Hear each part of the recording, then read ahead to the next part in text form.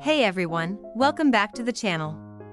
Today, we've got a super fun story about BTS's Jin and his unexpected reaction to hearing his song Super Tuna at the 2024 Paris Olympics torch relay. You won't believe what happened.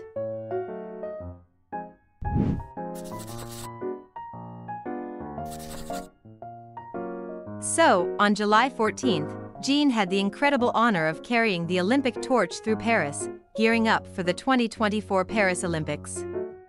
Talk about a prestigious moment, right?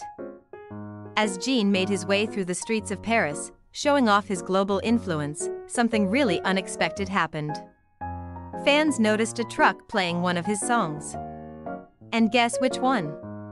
It was none other than Super Tuna. Now, for those who might not know, Super Tuna is a song that holds a special place in ARMY's hearts.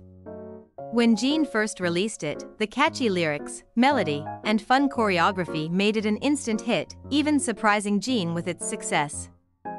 Netizens shared a video of the song being played, and the best part? Jin's reaction. Fans at the event managed to capture Jin's adorable reaction to hearing Super Tuna in front of thousands of people at such a historic event. Jin had the biggest smile on his face, and he looked like he was ready to start dancing right there in the street. It was such a heartwarming and fun moment, and armies in the crowd were definitely loving it and probably dancing along too.